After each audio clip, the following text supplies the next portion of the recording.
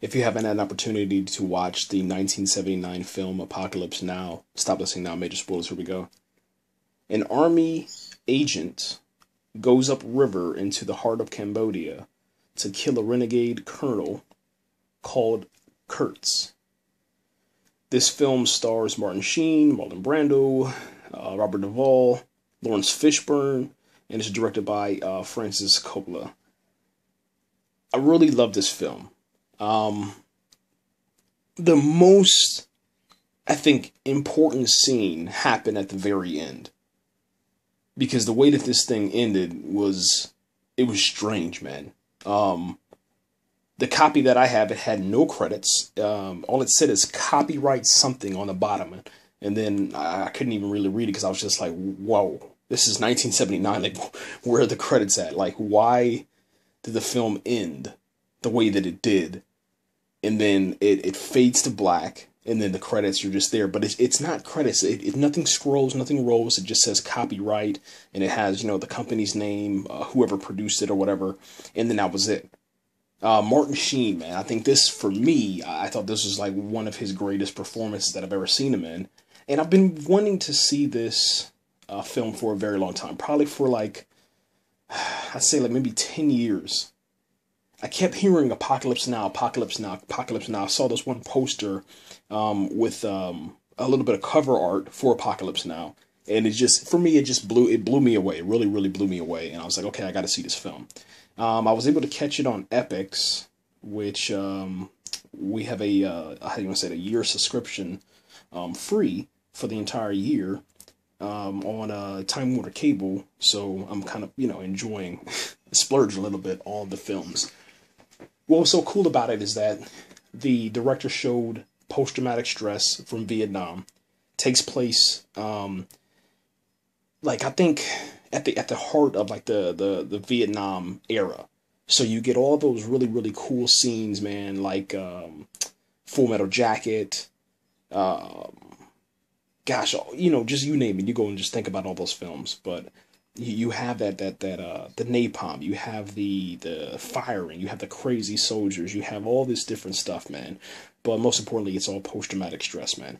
Anyway, the the U.S. government hired this army agent, um, played by Martin Sheen. They hired him to go and kill this renegade colonel. Okay, the colonel was supposed to fall in line and do certain things, and then he would take his place as like uh, someone really important later on in life, but then he just went rogue. Uh, the colonel goes out into the uh, natives' land um, where the primitive people of that land take him on as a god, and he becomes a god. He believes that he's a god, and he can't be killed, and he's surrounded by thousands of uh, of little people that that just pretty much worship him, man. But he also has U.S. troops that are there with him also, and I guess these are probably renegade troops also that have just joined his cause. Um, they they drunk the Kool Aid, okay? They they've joined the Koresh, and uh, they're they're following him to his doomsday.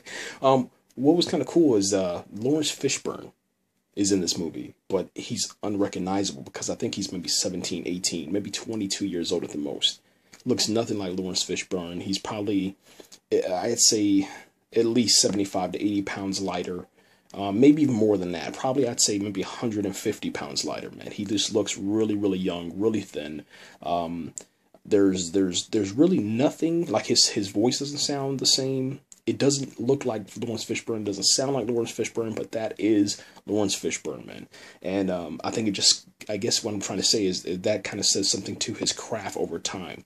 You know, you know who Laurence Fishburne is now, ever since I pretty much, you know, uh, Do the Right Thing or Morpheus from The Matrix, but he's really evolved. And then looking at him in, Man of Steel and looking ahead at him in his performance um, inside of uh, so many other films, like he's done an amazing job, you know, with Blackish and Hannibal, you know, just to name a few.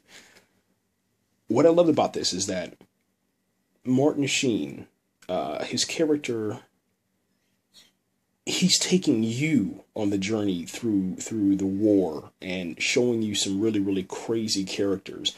But he doesn't. His presence in the film isn't like it isn't too much to where you're like, oh man, damn, you know, Martin Sheen's taking over the movie. No, I think every character that is involved in this, including Harrison Ford, who doesn't have a lot of screen time just at the beginning, but Harrison Ford is in the movie. Harrison Ford from you know Han Solo from Star Wars, um, he's in the movie. Uh, Robert Duvall's in the movie. Like there's there's just these scenes where some characters come along for the ride and they show up, they perform, and Martin Sheen sharing screen time with these guys. It's it's just a really great performance, man. It's a young Martin Sheen. I mean, you can definitely see how uh, Charlie Sheen, you know, got his influence.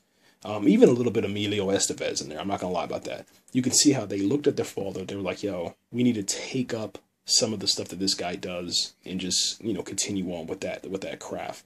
Beautiful, beautiful film.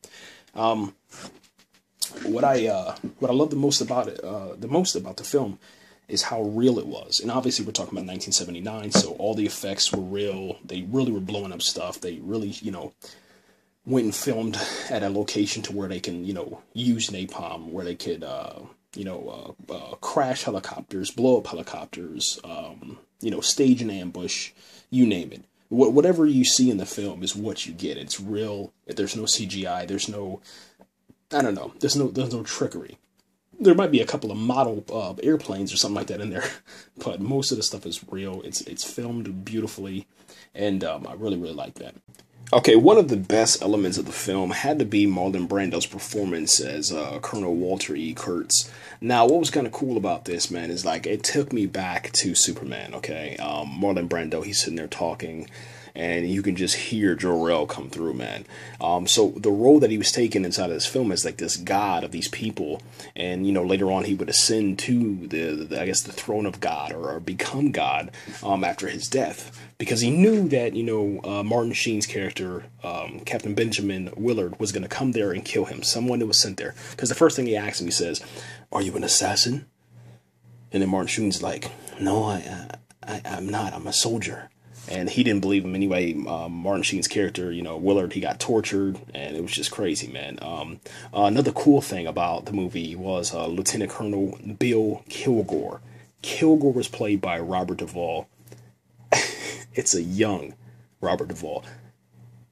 I I think started watching Robert Duvall when he was in his like probably late forties, maybe a little bit earlier than that, but probably like his late forties, early fifties, and this was a young Robert Duvall. Like, um, man, I mean, he's a badass actor anyway, but we're talking about like a young Robert Duvall. That's all I gotta say. If you know who Robert Duvall is, yeah, check him out. I mean, it's just pretty dope. Um, like I said, Laurence Fishburne, man, he played this dude called Clean, and um, he did a good job in there. There was a guy called uh, Chef. Um, uh, let me see. Uh, there was a dude named Chief inside of there, and that was played by uh, Albert Hall, man, uh, who played Chief uh, uh, Phillips, man. That was pretty cool. But it was like a little band of brother movements on this boat that was transporting uh, Willard out there to, you know, find um, Colonel Kurtz inside of the woods, and it was just one of those beautiful scenes, man. Everything, the cinematography, the editing, the acting, the directing, it was really, really good. Everything meshed together perfectly. And but I, I, just want to talk real, real, real quick, and then this will be the end of the podcast. The what I believe is the end sequence, the the final scene, the last I'd say I don't know two, three minutes, maybe four minutes, maybe five minutes, all the way into the end credits where it goes black. I think that that was uh, Willard's character, you know, Captain Willard, he went into Kurt's camp, and after he had been through so much, you know, torture and, um, you know, I, I guess you can say. a, a, mind game uh, with with Colonel um, Kurtz. I think that he killed Colonel Kurtz, and then he became Colonel Kurtz. That's what I think that that was because there was like this little, I don't even want to say this transitional period, like where they had one frame was on top of the other. It was like this godhead, stone head, but it was Martin Sheen, you know, Willard's character that was showing half of Willard, half of Willard's face, half of the um, statue, and then it just went black. I think that that was what they were trying to say there. That he just gave into the the whole entire idea, the notion. Um, he didn't believe himself was God, but I think that just being in that camp for so long, um, you know, seeing how the people interacted. He laid down his weapon. He wasn't going to do violence anymore, but he came out that water which I think for me was like the rising of the phoenix from the ashes or something like that. That's how I looked at that, and I think that he took it on like that. I recommend anybody out there that hasn't seen Apocalypse Now to check it out.